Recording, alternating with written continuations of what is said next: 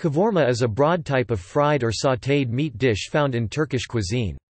The name also refers to canned or preserved versions of a similar dish, prepared by dry frying the meat to render down the fat.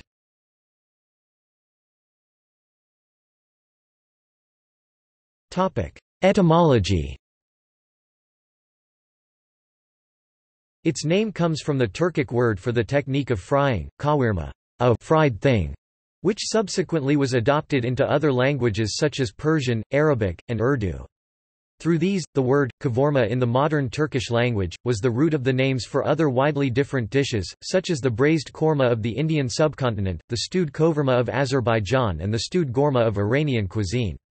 Despite the use of the same root word, it is quite possible that the dishes themselves are not related.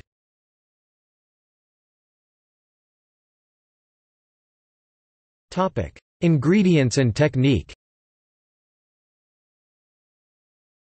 In Turkey, kavurma or sac kavurma refers to a dish made by sautéing or frying onions and meat such as lamb, beef, hare or other game briskly over a high heat. Peppers such as urfa biber are nearly always used, and the dish is cooked and often served in a shallow two-handled pan or sac which has its origins in the cooking utensils used by nomads.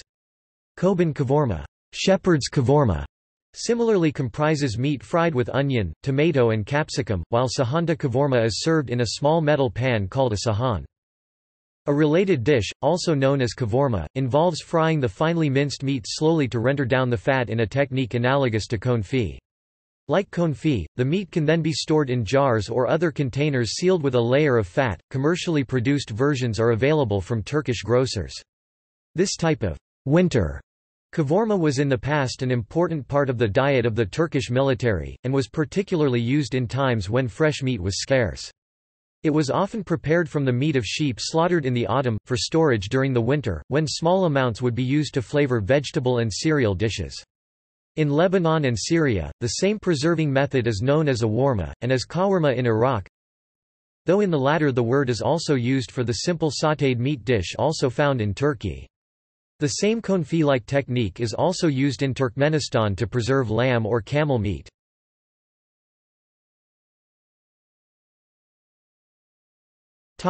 Meatless kavurma In parts of northern and western Turkey kavurma refers to a vegetable dish. Like other versions, it begins by frying onions, but then adds chopped vegetables, often including pickled vegetables, along with water and cooking everything together.